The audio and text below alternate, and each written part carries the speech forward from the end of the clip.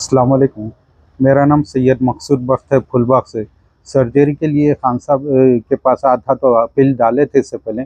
जो है अपील डाले तो मेरे को छियासी हज़ार नौ सौ रुपये जमा हुए।